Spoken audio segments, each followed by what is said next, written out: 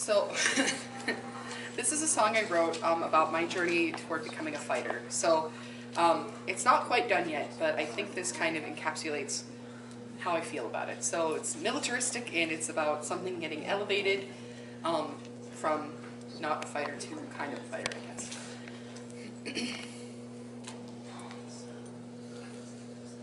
Day in and day out, I'd see them cross the field. Fighters in armor and with sword and shield. And always I wondered, but I never dared to share in the dream that they shared.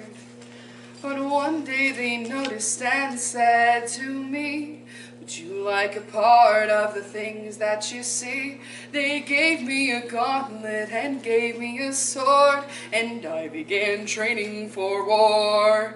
Asking, Will I be able to fight on the field? Will I be ready to make a foe yield? Can I defend honor in the Midrealm's way? Will I wear a token someday?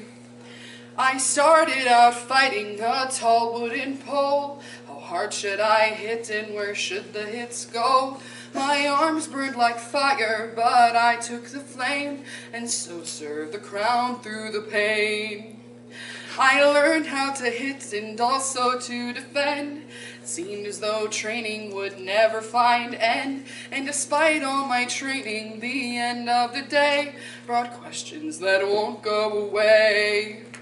Like, will I be ready to fight on the field? Will I be able to make a foe yield? Can I defend honor in the Midrealm's way? Will I wear a token someday?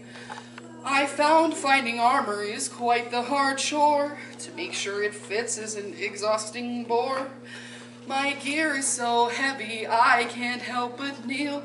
Sore muscles are all that I feel. And yet I am growing stronger every day.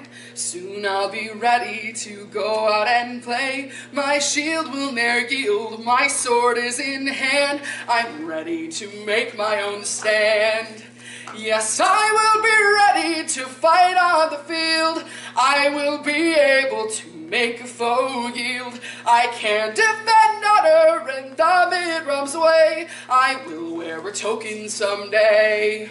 Yes, I will be ready to fight on the field. I will be able to make a foe yield. I can defend honor in the Midrealm's way. I will wear a token someday. Yes, I'll wear a token someday.